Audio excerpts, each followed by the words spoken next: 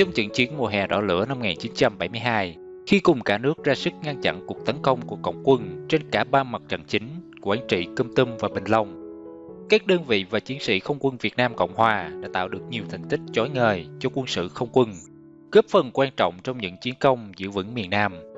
Tuy nhiên, trong năm này, không quân Việt Nam Cộng Hòa cũng phải chịu nhiều mất mát và một trong những cái tan gây nhiều tiếc thương cho cả trong lẫn ngoài quân chủng là sự ra đi của đại quý Trần Thế Vinh, phi đoàn 518 Phi Long trên vùng trời Quảng Trị. Đại quý Trần Thế Vinh sinh ngày 27 tháng 9 năm 1946 tại Ninh Cường, Nam Định, Bắc Việt. Cùng gia đình di cư vào Nam vào năm 1954. Anh gia nhập không quân vào cuối năm 1964 khi đang theo học Đại học Luật Khoa. Sau khi mãn khóa hoa tiêu quan sát tại quân trường Nha Trang, Trần Thế Vinh được gửi theo học khóa phi công khu trục AD6 tại Hoa Kỳ. Anh tốt nghiệp thủ khoa khi cùng học với nhiều phi công ngoại quốc khác.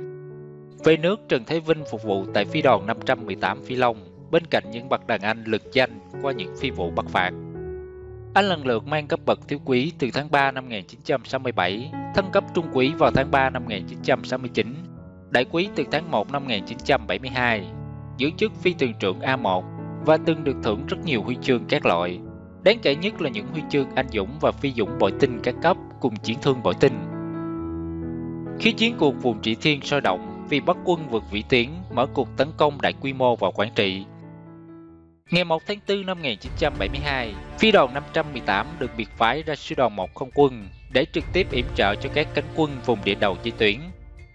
Và ngay lập tức, Trần Thế Vinh hân sai tình nguyện tham gia tất cả các phi vụ không ngơi nghỉ, bất kể thời tiết xấu như thế nào và phòng không địch đang kính bầu trời ra sao. Ngày 2 tháng 4 năm 1972, Trần Thế Vinh thực hiện phi vụ đầu tiên tại vùng giải tuyến, hạ năm chiến xa Bắc quân ở phía bắc Đông Hà. Phi cơ của anh bị trúng đạn phòng không 12 7 bên cánh trái, nhưng anh vẫn trở về căn cứ an toàn. Liên tiếp 3 ngày tiếp sau đó, ngày nào Đại úy Vinh cũng cắt cánh bay và ngày nào cũng bắn hạ được xe tăng địch. Tổng cộng chỉ trong vòng 3 ngày, 2, 3 và 4 tháng 7 năm 1972, anh hạ tất cả 20 chiếc xe tăng cộng quân. Nhiều lần phi cơ bị trúng đạn phòng không, nhưng anh vẫn trở về căn cứ an toàn. Để động viên tinh thần chiến đấu của quân đội, Bộ Tư lệnh Không quân Việt Nam Cộng Hòa đã phối hợp với Cục Tâm lý Chiến thực hiện một chương trình truyền hình về các chiến công của quân chủng, phát trên đài truyền hình quốc gia tại Sài Gòn vào hai ngày 7 và 8 tháng 4 năm 1972. Trong chương trình này, Thiếu tá Lê Phước Hùng đã giới thiệu đại quý Trần Thế Vinh là phi công anh dũng và xuất sắc nhất của đơn vị. Ông hứa với khán giả rằng trong tuần lễ kế tiếp sẽ đưa đại Vĩ Vinh về giới thiệu trực tiếp với công chúng.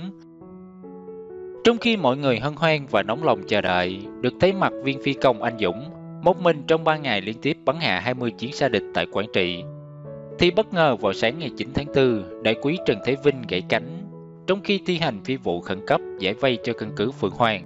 Lúc ấy do tiểu đoàn 6 thi quân lục chiến phòng thủ đang bị cộng quân vây chặt và tấn công dữ dội bằng pháo binh, chiến xa và bộ quân. Cùng phi tường viên đại quý Phan Công Định, phi tường trưởng đại quý Trần Thế Vinh cất cánh rời phi trường Đà Nẵng vào lúc 8 giờ sáng ngày 9 tháng 4, trong lúc thời tiết rất xấu và trần mây rất thấp. Tầm nhìn xa không quá 50 mét, khiến đại quý Vinh đã quyết định áp dụng chiến thuật táo bạo là cả hai phi cơ bay rất thấp, gần đến mục tiêu mới bốc lên cao, và từ đó lách mây đâm xuống quanh kích để tạo yếu tố bất ngờ. Chiến thuật gan dạ nhưng đầy liều lĩnh này đã khiến địch quân không kịp trở tay, và các chiến xa cộng quân không thể tránh kịp, với mình làm mục tiêu ăn bom. Và có bốn chiến xa địch trúng bom từ phi cơ của đại quý Trần Thế Vinh ngay khi anh vừa đâm bổ súng. Tuy nhiên vì súng quá thấp, phi cơ của anh đã bị trúng đạn phòng không và bốc cháy, không kịp bay ra khỏi khu vực nguy hiểm. Đại quý Phan Công Định đã báo cáo, phi cơ của đại quý Vinh đâm xuống đất và không thấy có chiếc dù nào bay ra. Đại quý Trần Thế Vinh, chim thiên đã bỏ trời xanh, bỏ người tình, bỏ bạn bè, chim thiên đã về ngàn.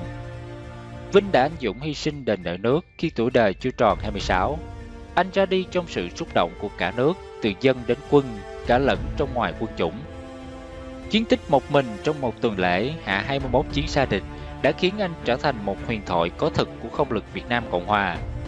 Ngay sau đó, chân dung đại quý Trần Thái Vinh xuất hiện trên những tấm bích chương, cổ động nhằm nâng cao tinh thần chiến đấu của quân dân được trưng bày khắp mọi ngã đường trên toàn quốc.